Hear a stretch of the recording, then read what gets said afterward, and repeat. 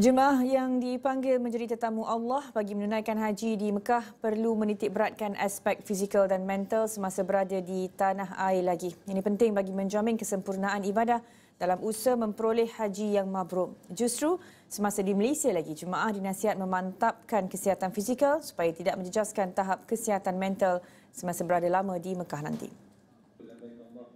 Bekas pengurus kanan kesihatan Lembaga Tabung Haji TH, Dr. Muhammad Khairul Aniza Zakaria menarik perhatian walaupun kesihatan bakal haji adalah baik sebelum ke Tanah Suci, tetapi keadaan itu mungkin berubah apabila mereka berada di sana. Dalam hal ini adalah penting untuk jemaah elak daripada alami keletihan tetapi cukup dengan pelbagai persediaan dan ada daya ketahanan yang tinggi terhadap cabaran. Kerana suka atau tidak, Ah, kekuatan tenaga tu memang menjadi uh, kekuatan atau punca utama.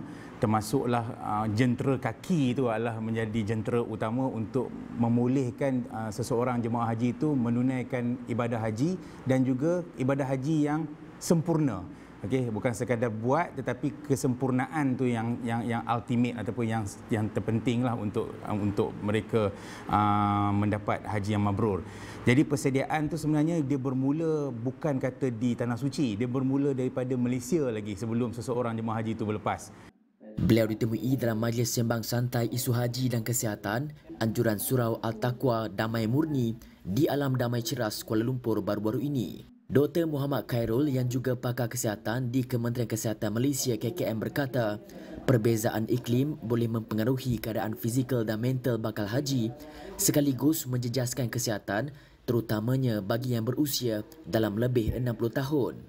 Cuaca kat sana panas dan even kalau kat Malaysia pun Kementerian Kesihatan Malaysia pun dah siap siaga untuk menghadapi cuaca panas. Okey, jadi kita kena tak boleh elak cuaca panas tu. Jadi kita kena adaptasikan diri kita. Jangan banyak terdedah dengan uh, cuaca-cuaca dalam keadaan yang terbuka, cuaca panas. Banyak berlindung dalam kawasan-kawasan tertutup. Jika duduk di Masyair ataupun di Arafah Mina, kita banyak duduk dalam kemah.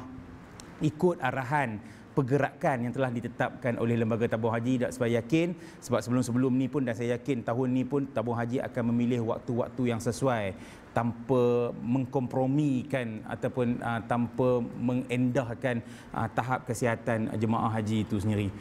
Musim Haji 1444 Hijrah 2023 membawa cabaran besar bagi lebih 32,000 jemaah dari Malaysia memandangkan cuaca panas di Arab Saudi dijangka mencecah 50 darjah Celsius. Menurut Dr. Muhammad Khairul, masalah kesihatan lazimnya dialami jemaah warga emas yang menghidapi penyakit kronik seperti darah tinggi, kencing manis serta jantung selain jangkitan paru-paru akibat demam, batuk dan selesema serta cirit-birit.